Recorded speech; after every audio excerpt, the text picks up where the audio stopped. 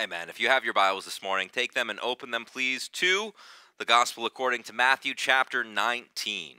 We are back in Matthew's Gospel after taking a break for the last several weeks as we work through our short little series on earthly suffering and future hope. But this morning we are back in the Gospel of Matthew, and we are going to be focusing on a subject that I think probably is not preached about very often within churches, but it's where we're at in Matthew's gospel, and that is the subject of divorce. But we're not just going to be focusing on divorce. What we're actually going to be focusing on is marriage. And to be more specific, the title of this morning's sermon is Godly Marriages, the Means by which God Builds His Kingdom. It's the means by which God builds His church. It's the means by which God actually helps us to fulfill the Great Commission. So we're not just focusing on divorce, but on marriage as well. And of course, there are some who are not married. And so, believe it or not, we're also going to focus a little bit on singleness. But the idea of this text, the main idea that we need to see here this morning, is that whatever our station, whatever our lot in life, it has been decreed by God, and it is to be lived out for the glory of God. So if you're there in Matthew chapter 19, and if you're able, please stand with me once more for the reverence of the reading of God's word. We're going to be looking from verse 1 down to verse number 12. Matthew 19, 1, the word of the Lord reads Now, when Jesus had finished these sayings, he went away from Galilee and entered the region of Judea beyond the Jordan and large crowds followed him, and he healed them there. And Pharisees came up to him and tested him by asking, Is it lawful to divorce one's wife for any cause? He answered, Have you not read that he who created them from the beginning made them male and female, and said, Therefore a man shall leave his father and his mother and hold fast to his wife, and the two shall become one flesh? So they are no longer two, but one flesh. What therefore God has joined together, let not man separate. They said to him, Why then did Moses command one to give a certificate of divorce and to send her away? He said to them, Because of your hardness of heart, Moses allowed you to divorce your wives, but from the beginning it was not so. And I say to you, whoever divorces his wife, except for sexual immorality, and marries another, commits adultery. The disciple said to him, If such is the case of a man with his wife, it is better not to marry. But he said to them, Not everyone can receive this saying, but only those to whom it is given. For there are eunuchs who have been so from birth, and there are eunuchs who have been made eunuchs by men, and there are eunuchs who have made themselves eunuchs for the sake of the kingdom of heaven. Let the one who is able to receive this receive it. Thus ends this reading of the holy, inspired, inerrant, and infallible word of the living God. Receive it as such, and let's go to the Lord once more in prayer together. Father, as we come before you today, we thank you for your word, and we thank you for your covenant of marriage, which you have gifted to us as men and women. We thank you especially for the covenant that exists between us and you and Christ, and that the church is, in fact, the bride of Christ. We thank you, Lord, that you have prepared for us a divine marriage supper, which all of us who are in Christ are called to feast in. Father, we do thank you also for all of those godly marriages that are represented here within the church. But, Father, as we look at this text, we also see that there are some important teachings regarding not only marriage, but divorce and singleness as well. And so, Lord, I pray that you would speak to each and every single one of us here this morning through your word, and that you would teach us the clear reality that wherever we are in this life, we are to live unto your glory. We are to live for your praise, and we are to worship you in all things. But at the same time, help us to see that marriage is a God given covenant, institution, through which you are building your church and your kingdom.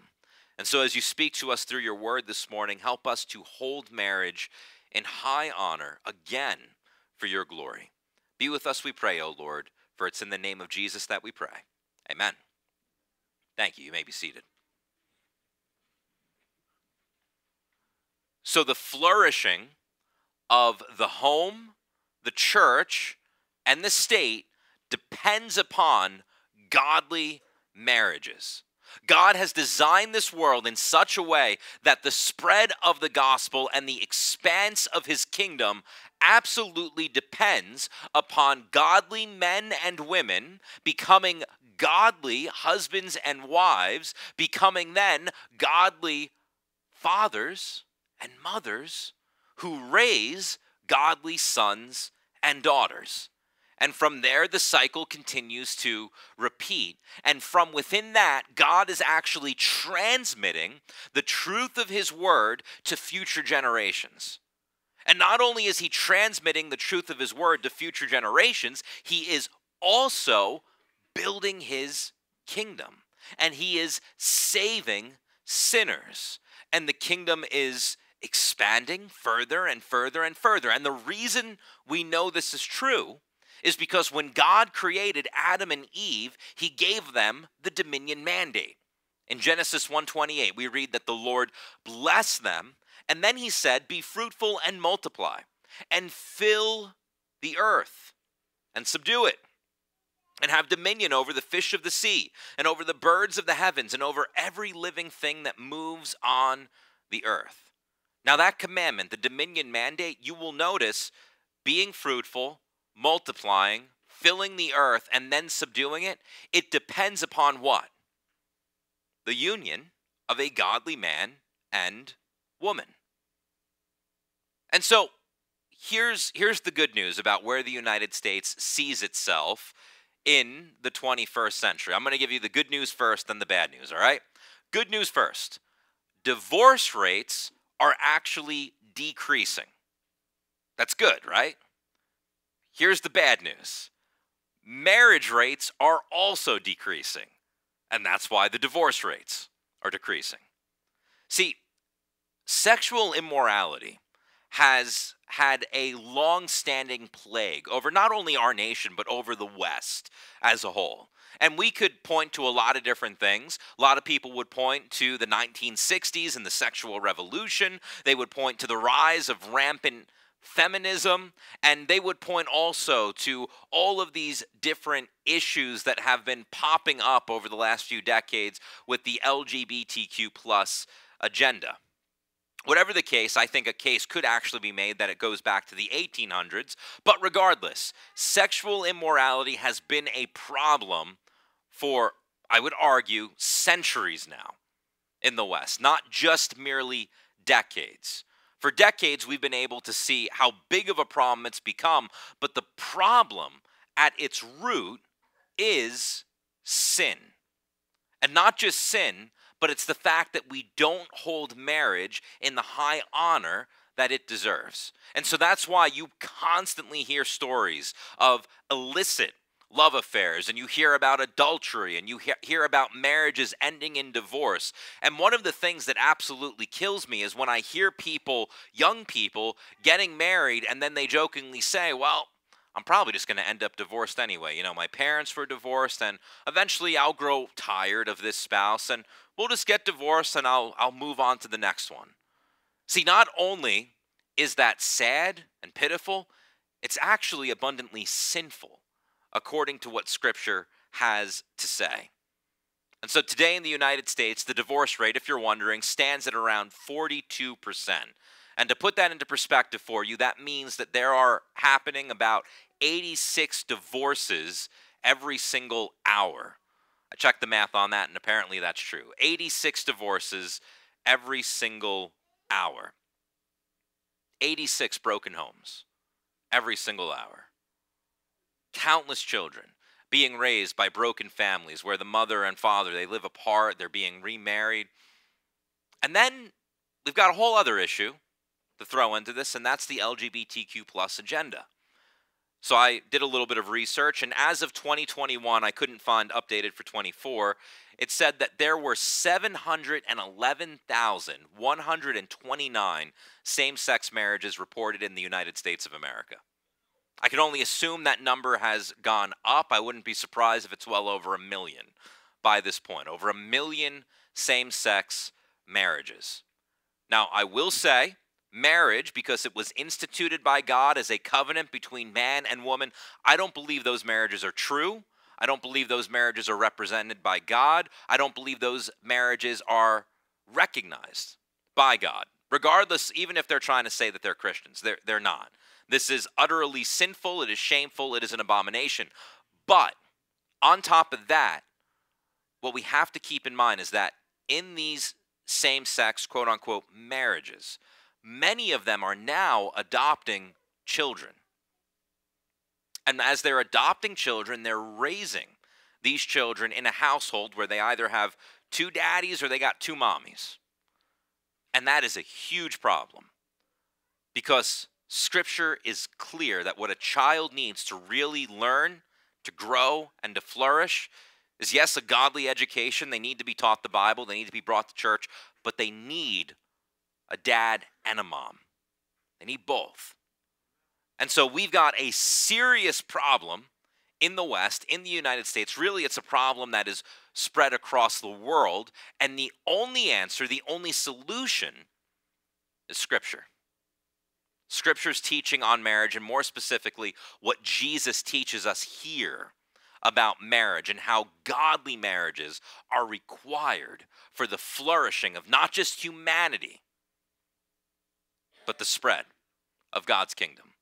And so, here within this text, what we see in the first few verses is really an antagonistic driving force that we see permeating even our culture today. As the Pharisees come to Jesus and they question him about the Bible's teaching on sexuality, we can actually see much of our culture today because they have their own idea of how things are, and then we have the truth. And we see that puts us at odds with them. That makes us enemies with the world. But as Jesus continues in this text, what we find out is not only must we be willing to stand for the truth of biblical sexuality, but we find out that biblical marriages are a good thing. And we find out that divorce is a bad thing. And not only is it a bad thing, but we find out that there's really only one instance where divorce is permitted in God's sight.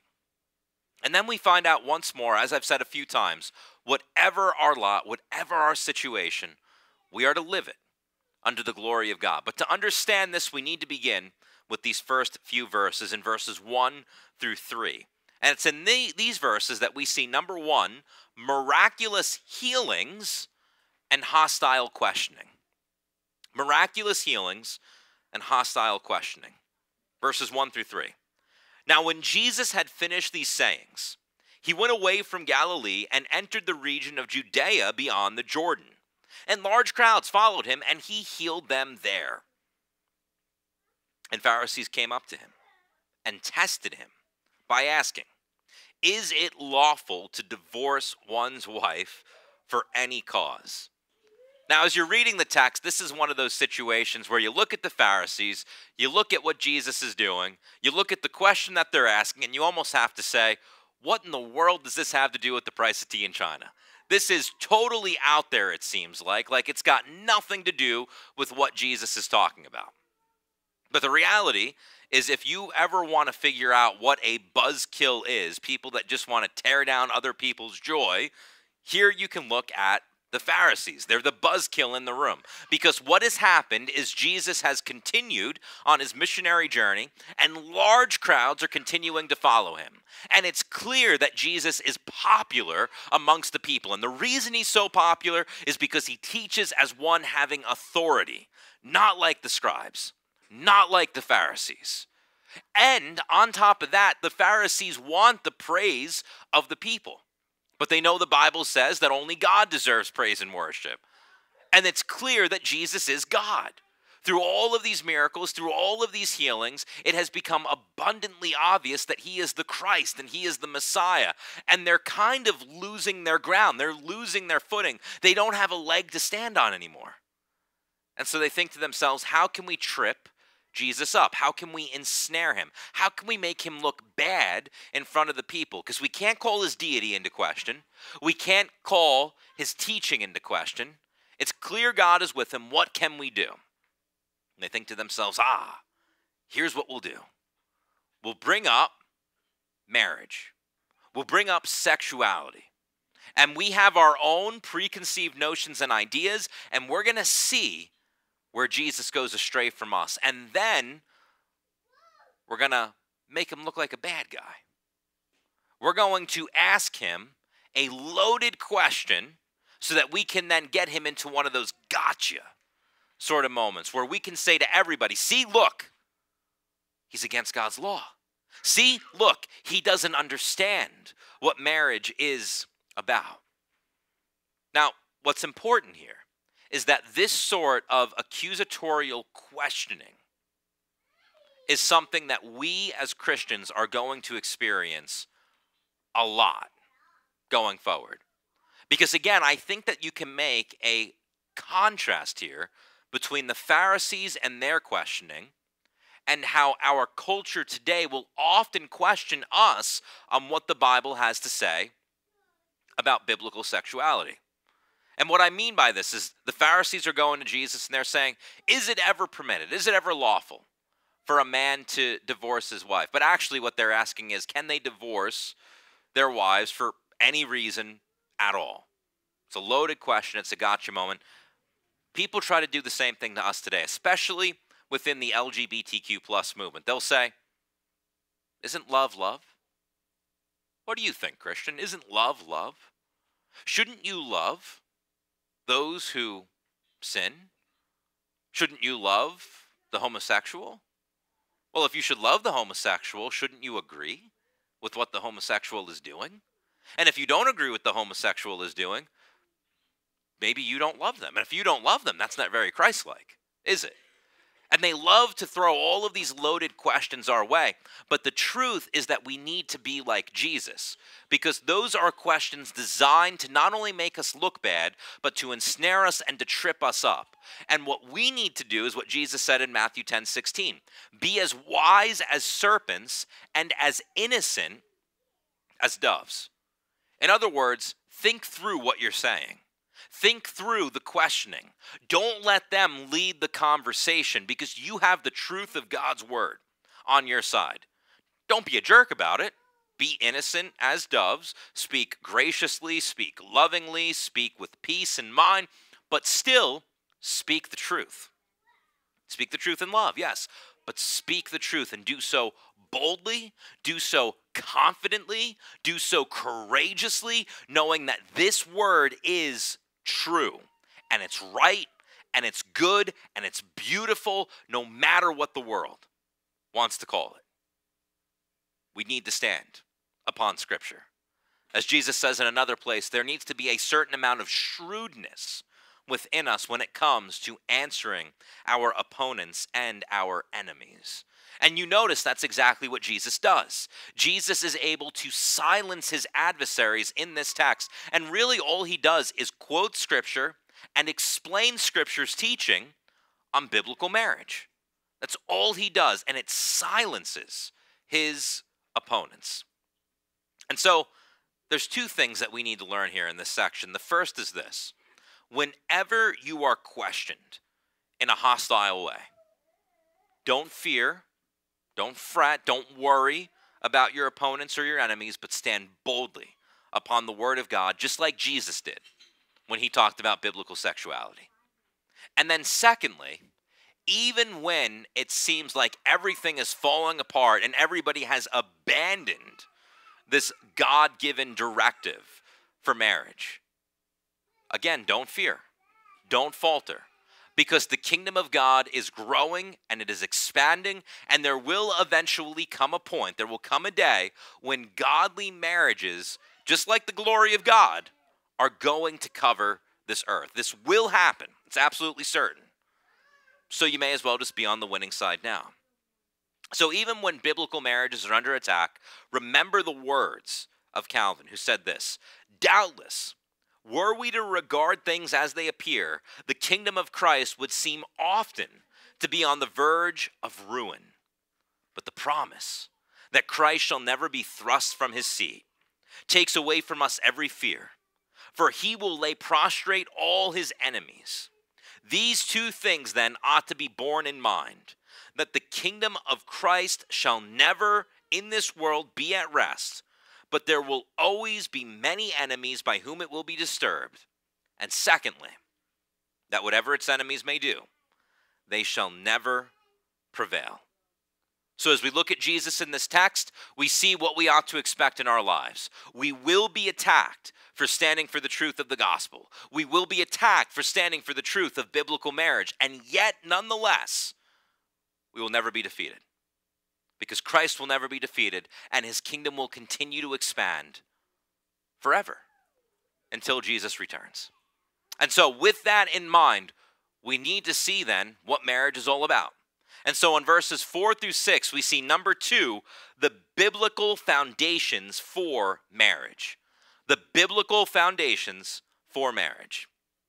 Verses 4 through 6. He answered, Have you not read? And remember the question Can a man divorce his wife for any reason? The answer is no, not for any reason. But this is why Jesus begins here. Have you not read? that he who created them from the beginning made them male and female, and said, Therefore a man shall leave his father and mother and hold fast to his wife, and the two shall become one flesh. So they are no longer two, but one flesh. What therefore God has joined together, let not man separate. So he's been asked about divorce, but he begins by speaking about marriage. And that's because Marriage is really at the heart of the issue here. The Pharisees are thinking, when can we divorce our wives? Is there can we do it for any reason, any reason at all? And Jesus is saying, no, not for any reason. The problem is that you don't understand what marriage is about. So let's go back to the beginning and let's go back to Genesis and see what God designed marriage to be. And so he appeals, first of all, and you guys know this, but I need to point it out anyway. He appeals, first of all, to the fact that when God created male and female, he made only male and female. Nothing else. That's it. Male and female. That's that's all God made.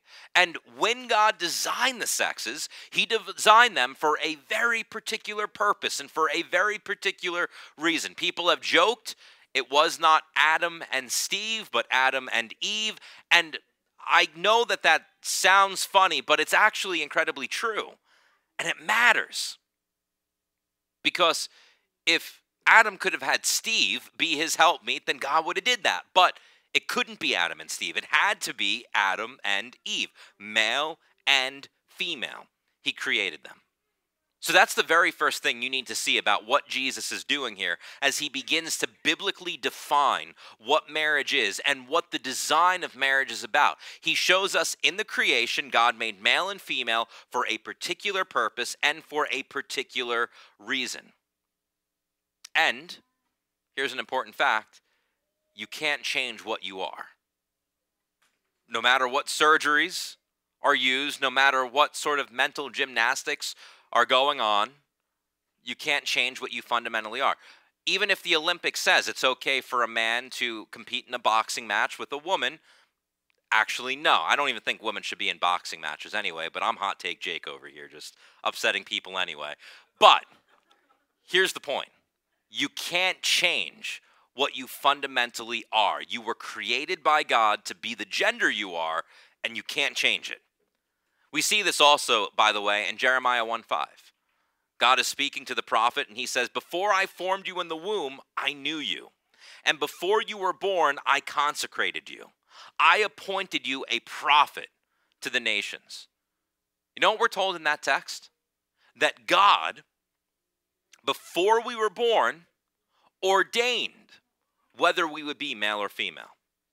Likewise, Psalm 139, verses 13 to 16 say this You, God, you formed my inward parts. You knitted me together in my mother's womb. I praise you, for I am fearfully and wonderfully made. Wonderful are your works. My soul knows it very well. My frame was not hidden from you when I was being made in secret, intricately woven in the depths of the earth. Your eyes saw my unformed substance.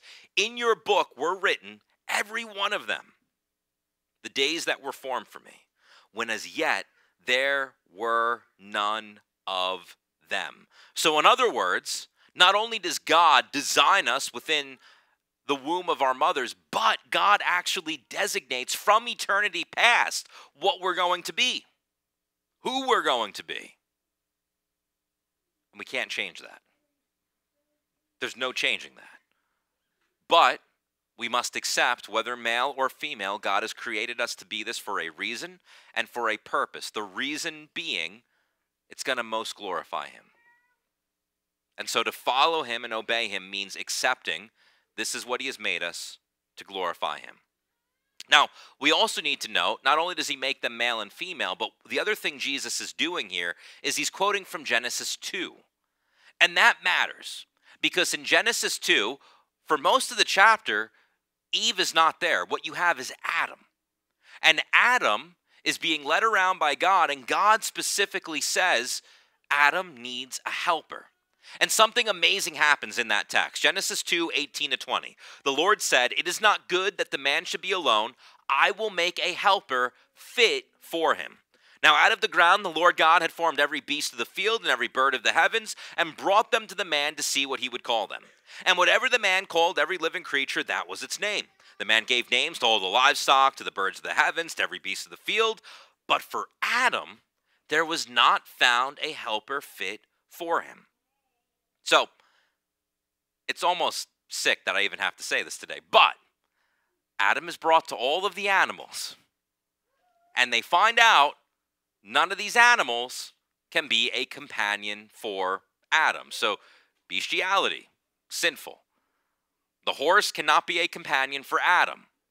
The dog, maybe man's best friend, can't be a lifelong companion for Adam. Adam needs something else. And as it turns out, it can't be another man either. It needs to be something else. So Adam is brought throughout all of the creation. He finds out all of these different things. They're not a fit helper. And so God is about to institute the covenant of marriage. And to do this, Eve is required. If man's going to fulfill his mission of taking dominion of the earth, glorifying God, keeping the garden, working the garden, expanding the Garden of Eden throughout the whole earth, he needs a woman. And so in Genesis 2 21 to 22, the Lord God caused a deep sleep to fall upon the man, and while he slept, he took one of his ribs and closed up its place with flesh. And the rib that the Lord God had taken from the man, he made into a woman and brought her to the man. This woman is the only suitable helper for the man. And that's why, and this is what Jesus is quoting then Genesis 2 23 and 24. The man sees her and he said, This at last is bone of my bones and flesh of my flesh. She shall be called woman, woman, because she was taken out of man. Therefore, a man shall leave his father and his mother and hold fast to his wife, and they shall become one flesh. So, by appealing to this record in Matthew 19, Jesus is telling us this is still the way it is. Only one man, one woman, brought together in holy marriage, they are made one. And there is nothing then that should separate them or bring them apart. And you should not seek to separate this union. This means then that the only God approved, God recognized marriage is the marriage between one man and one woman. I don't care what our government says. All of these supposed same sex marriages, they are not recognized or approved by God. They're false. And there's many other marriages too that are like this. And we could spend a whole lot of time talking about how people are now this is true apparently. They're trying to marry their dogs. People are trying to marry stuffed animals. Horrible things are happening. Crazy things are happening. But this is the only God approved, God recognized marriage between one man and one woman. What this means then is that Jesus, despite what so many try to say, Jesus did speak against homosexuality. He did speak against transgenderism.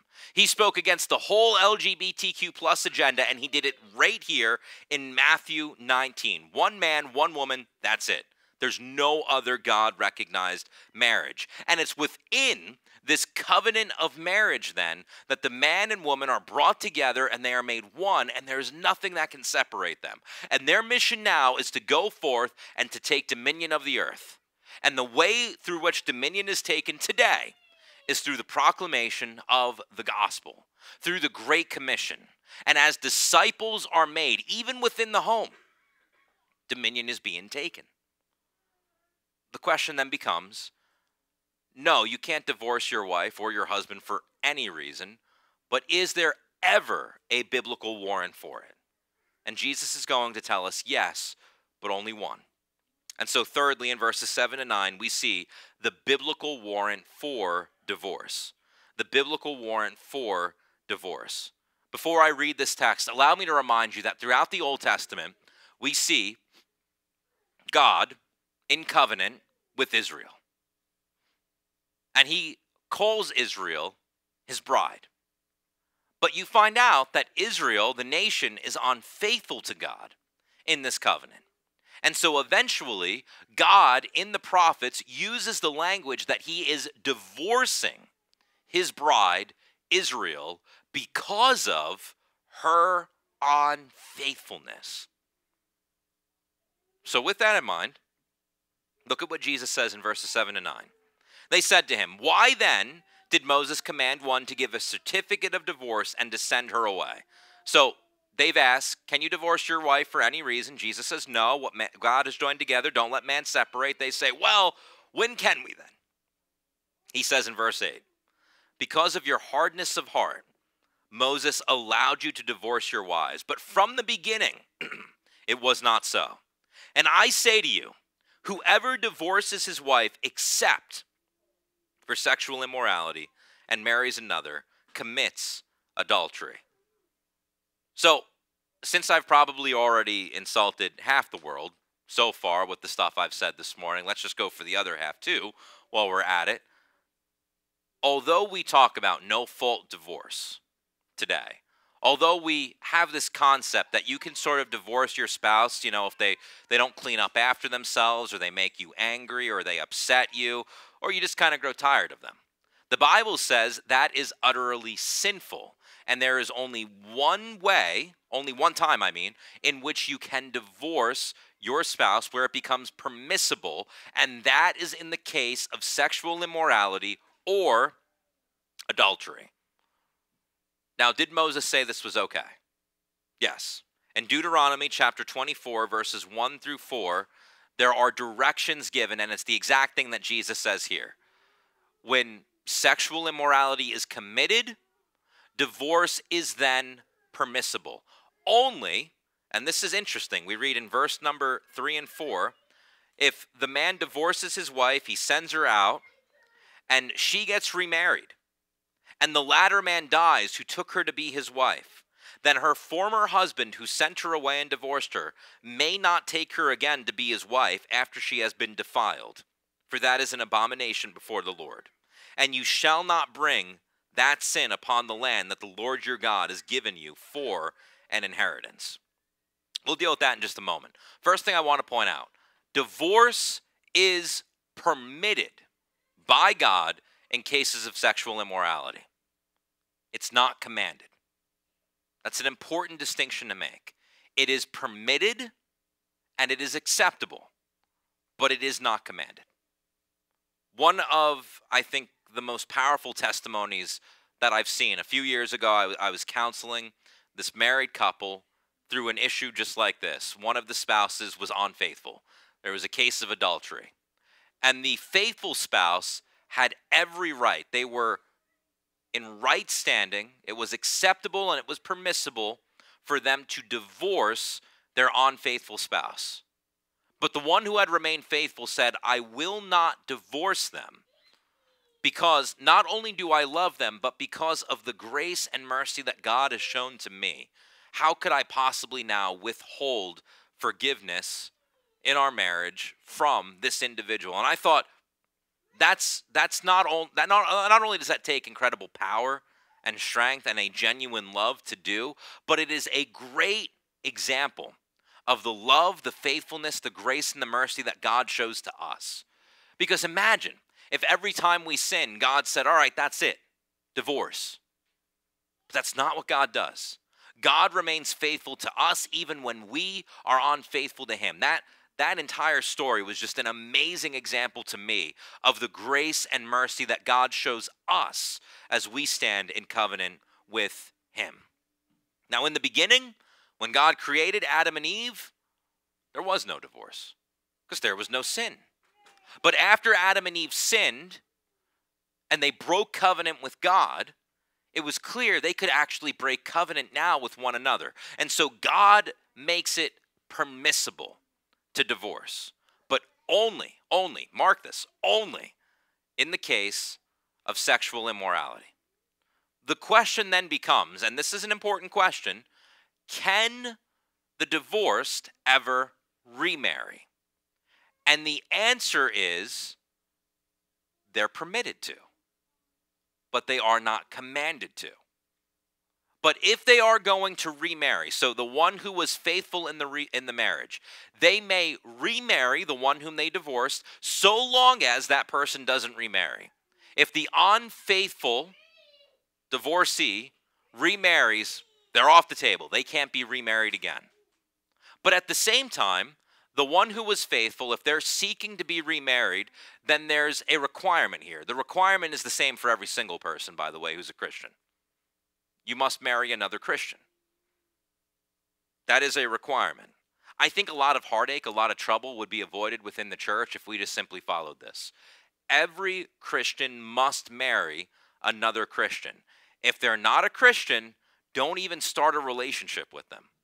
It's a terrible idea. A lot of people have this idea I can fix them. I love. No, you can't. Only God can. And until they're fixed, until they're saved by God, you cannot enter a relationship with them. 2 Corinthians 6:14 clearly teaches, "Do not be unequally yoked with unbelievers. For what partnership has righteousness with lawlessness? Or what fellowship has light with darkness?" So, the one who divorces their spouse due to sexual immorality may remarry, but it has to be another Christian, and that Christian may not have been divorced due to sexual immorality. It's a very crystal clear requirement. It's not one that people like to see, but it is clearly here within Scripture. But again, I want to point out to those who are divorced, to those who are unmarried, they are permitted to marry, but it is not a requirement. 1 Corinthians 7 10 to 11 puts it this way to the married, I give this charge, not I, but the Lord. The wife should not separate from her husband.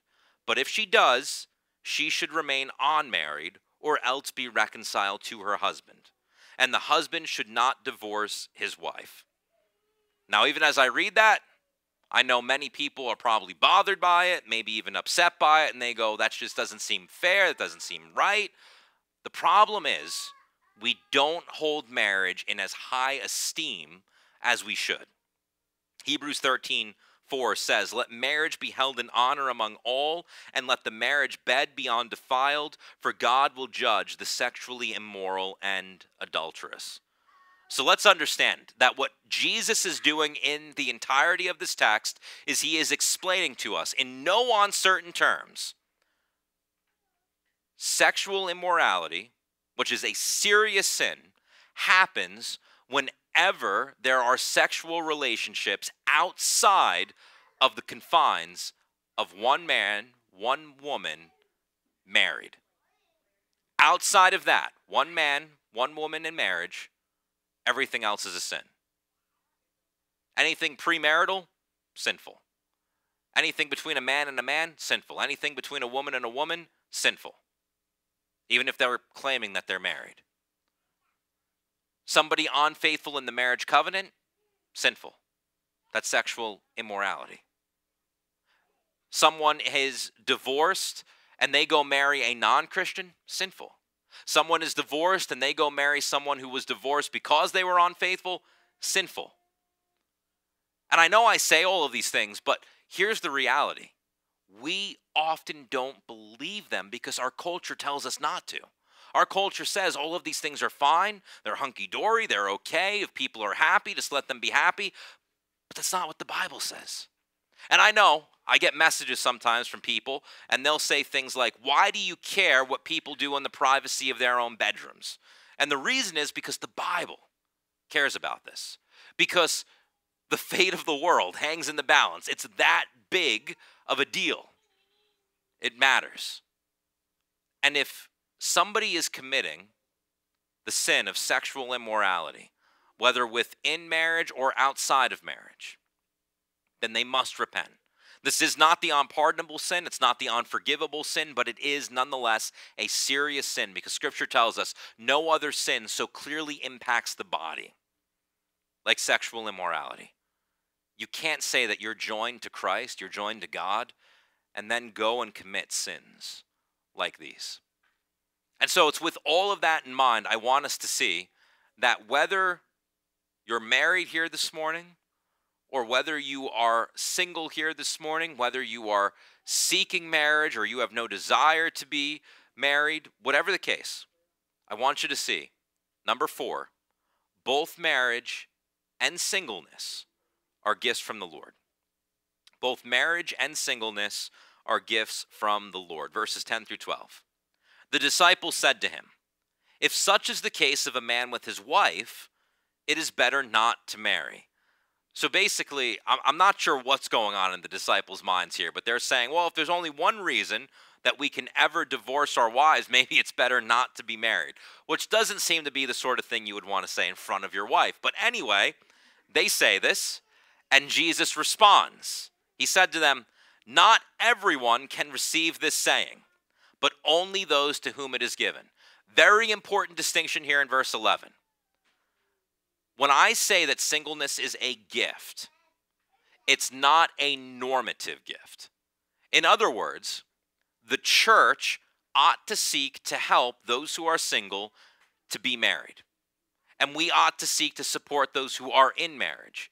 But there are people, few people, in comparison to those who ought to seek marriage, few people who are actually given the gift of singleness. And that's why in verse 12, Jesus says, For there are eunuchs who have been so from birth, and there are eunuchs who have been made eunuchs by men, and there are eunuchs who have made themselves eunuchs for the sake of the kingdom of heaven.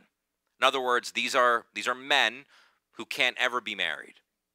And he says, Let the one who is able to receive this receive it. Now, again, interesting text, but it's very straightforward and simple the normative experience of every man and woman ought to be to seek marriage and to have godly offspring. That is the normative experience. But some, some are called to singleness. And for those who are called to singleness, they are to live their lives devoted to God and His kingdom. And this is a gift from the Lord. That's why 1 Corinthians 7 6 to 9 says, Now, as a concession, not a command, I say this. Paul is writing. I wish that all were as, my, as I myself am. Paul was single. But each has his own gift from the Lord, one of one kind and one of another. To the unmarried and the widows, I say that it is good for them to remain single as I am. But if they cannot exercise self control, they should marry. For it is better to marry than to burn with passion.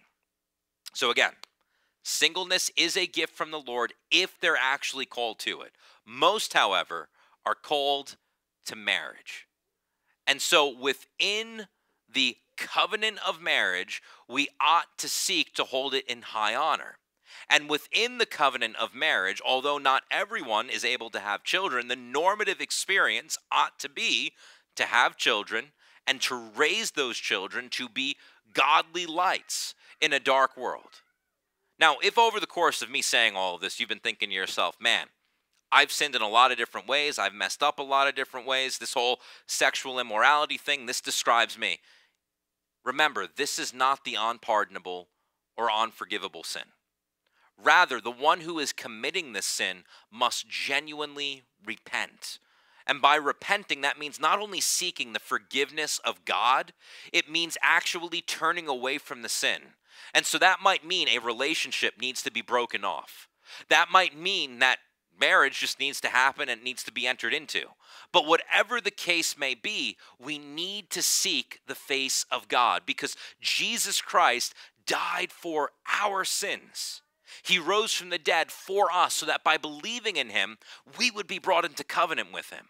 And so on this earth, our marriages must, they must not only glorify God, but they must reflect the glory of the union that exists between the church and Christ.